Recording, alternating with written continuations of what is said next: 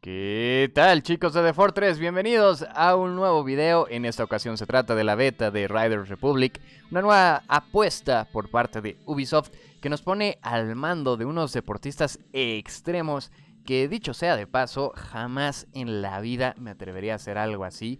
Porque, ah, hijo, no más de imaginarme el vértigo no, no, no, ¿para qué les cuento? ¿No? El Kike le tiene un saludable respeto a las alturas. Y la neta es que aquí nos dan esa sensación de fantasía muy agradable, muy divertida, donde podemos aventarnos en bicicleta desde una montaña llena de nieve, pasar al snowboarding. La verdad es que es muy, muy divertido. Es de esos juegos que tienen 100% eh, jugabilidad, ¿saben? Eh, yo sí soy muy fan de las historias, de la narrativa, de los juegos cinemáticos. Me atrapan, me encantan, me gusta muchísimo disfrutar de esos personajes. Pero también creo que los videojuegos tienen que ser divertidos. La jugabilidad tiene que ser el factor determinante de cualquier cosa interactiva. Y este tipo de juegos donde no necesariamente va a haber una campaña, no necesariamente va a haber una circunstancia épica y un lore y un canon, nada más es juega, diviértete haciendo una actividad muy divertida que tiene el añadido de ese multiplayer. Esto quiere decir que muchas de las carreras no van a ser iguales porque no sabemos con quién nos va a tocar. Que es la magia de estos multiplayer masivos en línea, es justamente que a veces te puede tocar con gente que igual está igual de sope que tú y pues te la pasas bomba, a veces te la vas a pasar como el rey porque pues bueno, en tierra de ciegos el tuerto es rey y en otras pues sí la vas a sufrir porque te va a tocar gente muy muy buena. Entonces eso le da mucha rejugabilidad porque cada partida se va a sentir diferente. Y de nuevo, no voy a hacer esto en la vida real, entonces qué mejor que hacerlo en un videojuego.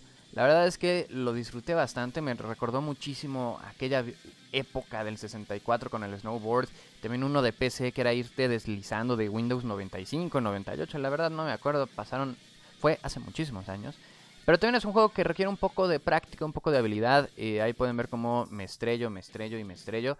Porque requiere cierta precisión, cierto tiempo, cierto ritmo, cierta combinación de botones que a veces pues uno no tiene la paciencia porque le estás metiendo a full, nunca quieres desacelerar, que es mi problema con los juegos de carrera, nunca quiero desacelerar, no los juego tan eh, metódicamente, los juego al botonazo de acelérale, métele nitro, trata de dar la vuelta, agarrar la curva sin eh, bajarle ni, un, ni medio kilómetro por hora a la velocidad. Entonces, yo lo disfruto así, habrá quien sí lo juegue como más preciso, más pensado. Y aquí tienes ambas, ¿no? Necesitas primero construir velocidad para cuando llegues a una rampa tener la suficiente elevación y poder hacer más trucos, que tengas más tiempo en el aire para poder hacer más giros, más piruetas, 180 grados, inclusive pues la vuelta completa, ¿no? Un 360. Eh, la diversidad quizás no es súper amplia, no vamos a tener 15, 20 disciplinas, vamos a tener unas cuantas, pero creo que están muy bien, creo que eh, ayudan mucho, por ejemplo en la parte de nieve tienes dos opciones, ¿no? Tienes la opción de la tabla o tienes la opción del esquí. Entonces ahí ya con qué te acomodas más, ¿no? Con tener los palitos y los dos esquís o usar la tabla, obviamente cambia el tipo de trucos.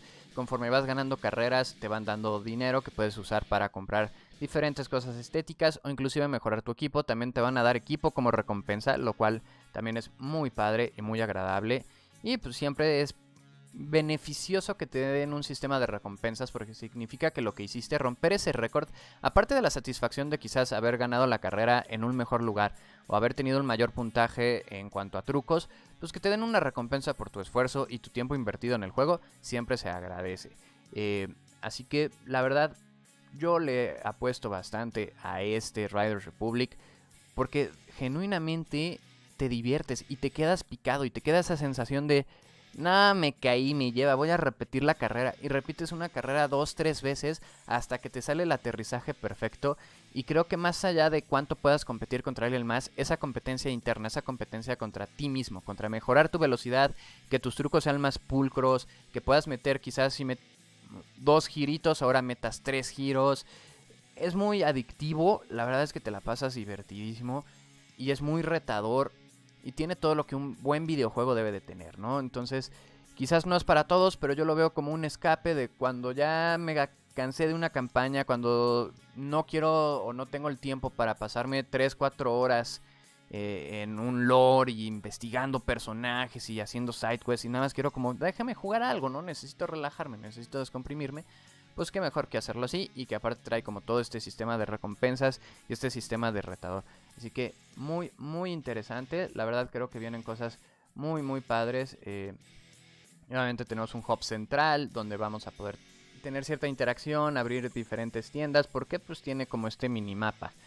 Eh, podemos cambiar de evento, podemos cambiar de, pues, de vehículo, pasar del snowboard a la bicicleta, hacer un poco de eh, fast travel, encontrar cosas escondidas en el mapa. Para los fanáticos de los coleccionables también van a tener cosillas que buscar. ahí podemos ir a los eventos, empezar, practicar. Es un juego completo. Ahí, vean nomás. Vamos a volver a ver eso, mira. Ahí sí me, me quedó muy bien ese trucazo. Agarré la rampa como los verdaderos profesionales. Y mira nomás qué chulada de truco nos salió. Entonces, eh, falta poquito para que salga. Ahorita la beta la disfruté bastante. También hubo una beta abierta para los que no pudieron tener código que a nosotros nos tocó. Así que le agradecemos al tío Ubi. Porque aparte nos dio códigos extras para regalarles a ustedes. Así que los ganadores espero lo hayan disfrutado enormemente. Yo sé que yo lo disfruté enormemente. Y habrá que ver el juego final. También seguramente va a haber pistas de DLC. Y van a estar nutriendo el juego de contenido. Eh, como suele suceder en este tipo de, de aventuras. Así que la verdad, rifado, me gustó una jugabilidad por demás adictiva. Vean nomás, ahí va, ahí va. Vámonos, hasta parece que el Kike sabe qué botones apretar. Hay tutoriales para que no crean que eh, se avientan a ciegas. Van a tener ahí pues, su repasón básico de cómo moverle a su monito para asegurar que el truco salga bien. Y a lo demás pues es cuestión de ritmo, cuestión de velocidad, cuestión de práctica. Así que bueno, esto es Rider Republic. La verdad creo que vale la pena. Sobre todo para pues, vivir esa fantasía, ¿no? De, ok, estoy haciendo un deporte extremo desde la seguridad de mi casa, no me va a pasar nada, no me voy a caer, no voy a salir volando por la montaña, todo va a estar muy bien y pues lo voy a disfrutar enormemente.